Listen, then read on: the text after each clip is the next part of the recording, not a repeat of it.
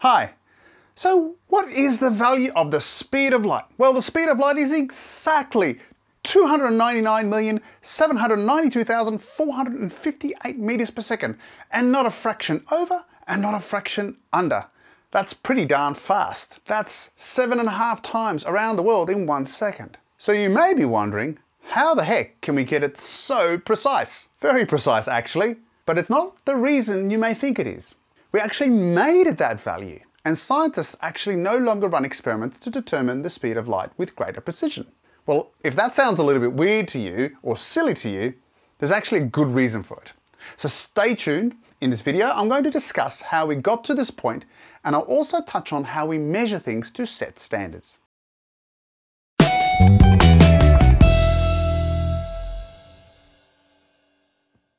Now, over the last few centuries, a number of scientists, starting with Römer in the 17th century, tried to work out exactly how fast light travels. Now, I cover a number of those attempts in a previous video, and I encourage you to have a look at those as they lay the groundwork for what I'm discussing now, and you'll find the link here and also in the description below. And a number of those attempts were done by what we refer to as the time of flight method.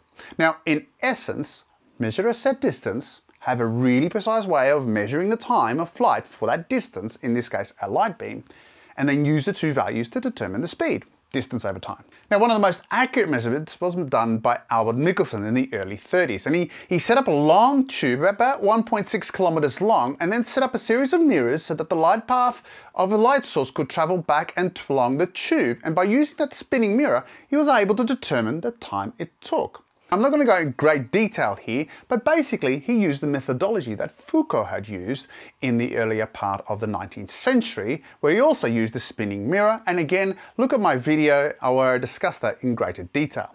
But one of the key hallmarks which led to a high level of precision was that Michelson was able to evacuate the tube practically of all its air, since air does cause refraction and thus affect the speed of light. Now that's not an easy task for a 1.6 kilometer tube. Now unfortunately Michelson died while his experiment was still being conducted, but his results were published posthumously and he got a value in 1931 of 2.99774 by 10 to the power of 8 meters per second. Now that is 0.006% out from the accepted value today. And the accuracy was so good for the time that it actually became the standard for the speed of light for the next decade or so. But this time of flight method can only take you so far.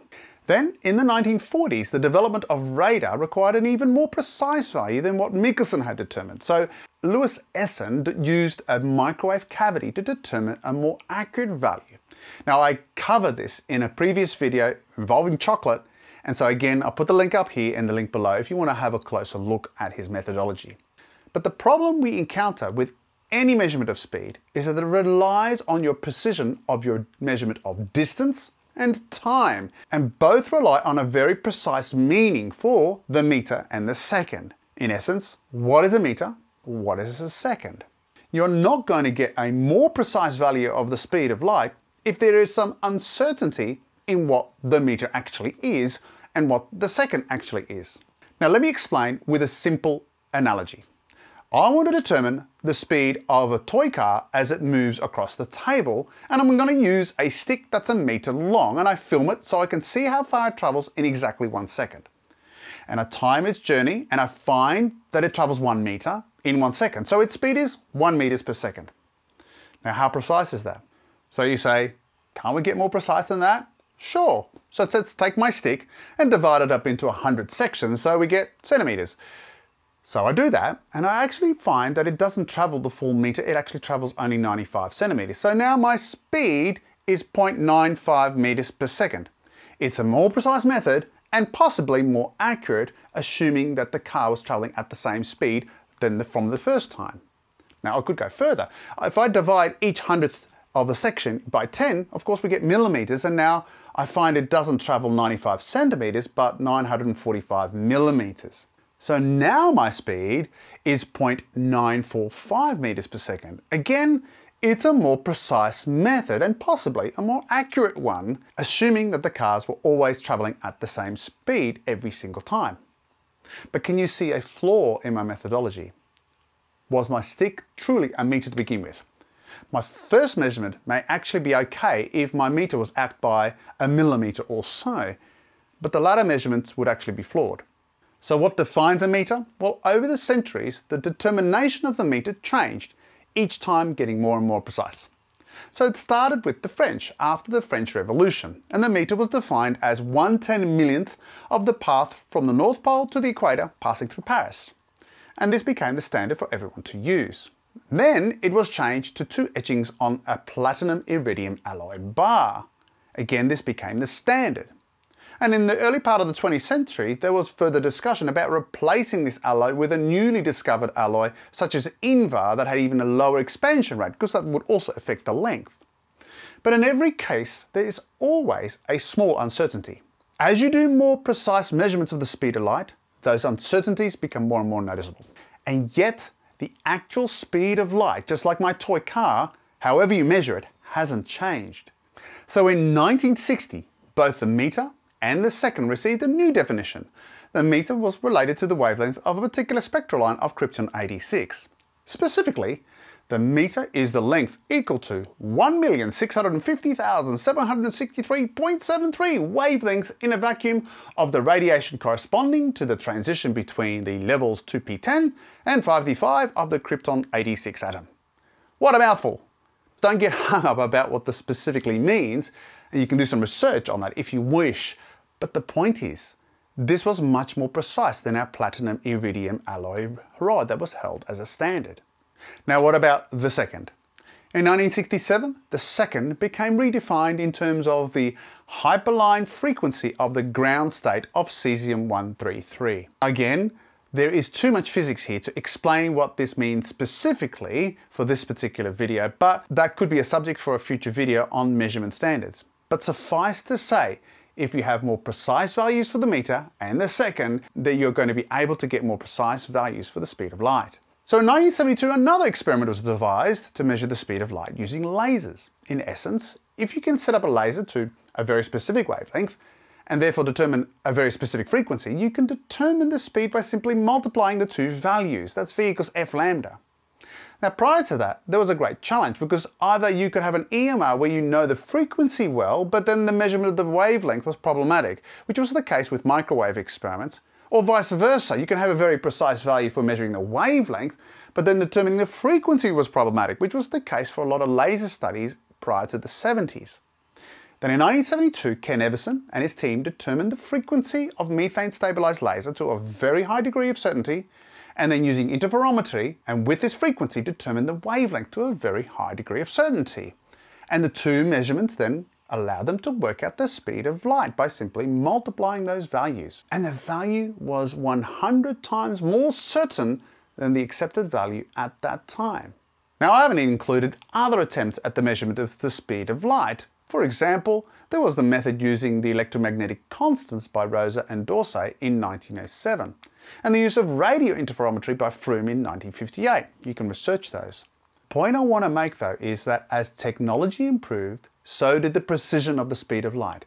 But one thing underpinning them all, right from the beginning, was that the standard for the meter and the second was paramount. Now the second is still relatively straightforward. It's still determined by the frequency of the transitions in cesium, and this can be measured extremely well. So therefore, how the meter was defined therefore determined how the value of the speed of light was determined. But the more precise we got with the light, the more imprecision of the meter became a factor, even with the new definition of the meter. For example, the advent of lasers and the use of krypton transition levels, well, they found some asymmetry, and that resulted in two values for the speed of light, depending on how you measured those transitions. Suffice to say, the improved tools actually increase the uncertainty of the final values. And then there's the fact that the meter is actually not constant. The meter ruler is not a meter if it's moving. That is, Einstein's theory of relativity predicts that length contracts if there's relative motion between the object and the observer. So in 1975, the decision was made by the General Conference on Weights and Measures that rather than this meter and the second defining the speed of light, it was better to define the meter by the speed of light. The speed of light, of course, is fixed for all frames of reference, as Einstein correctly argued, so the speed of light was set precisely to 299,792,458 meters per second. Just to make it absolutely clear, this is not an arbitrary number. All the measurements of the speed of light got closer and closer and closer to this value over time. And therefore, the meter now has a new definition.